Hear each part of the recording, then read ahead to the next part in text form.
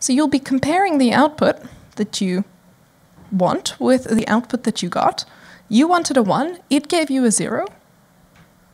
Okay, which weight are we going to change? In what order?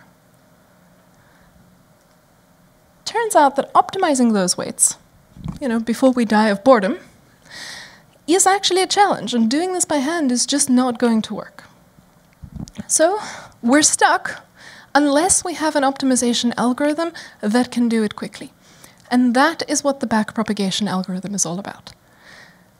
For your purpose, backpropagation is the reason that you get solutions here, you know, in this lifetime rather than in the uh, old age of the universe. You don't need to know much about it as practitioners because it's already implemented in those packages for you. You don't need to go reinvent the wheel. So even though it is part of day one of every neural networks course ever, if you're finding it tedious, you can just ignore that because it's already implemented. Just think of it as the reason that you don't have to wait forever for the results. I remember a, a fun moment where uh, my friend who has a PhD in machine learning, who is a researcher, was saying, "Oh yeah, I have to go teach backpropagation tomorrow, so I can't go drinking because I have to go relearn it." Turns out you could be a career machine learning researcher and have entirely forgotten it, but somehow it's part of the hazing every time. So if you take a course and you're like, "I'm not getting it, and it seems annoying. Do I have to fail out of the course, or can I just ignore this one and hope it goes away?" If you're going for how to be an applied person, you can probably get away without worrying about it too much. And let's see what's happening. We take an instance and we send it through the network just as we sent those numbers through earlier to get a label out on the other side, and we call that forward propagation. And then when we look at the label, we compare it with what the true answer was, and we see a mismatch.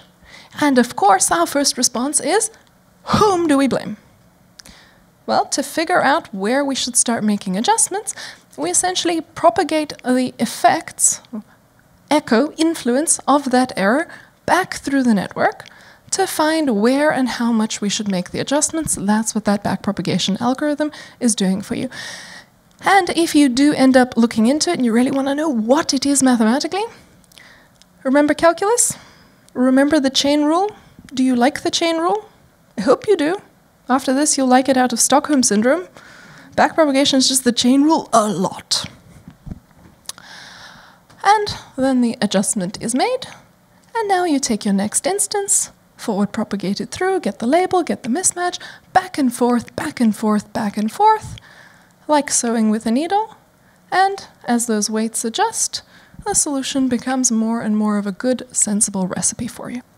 That's the simplest implementation. Now there are more interesting ones where you can train on many instances at once.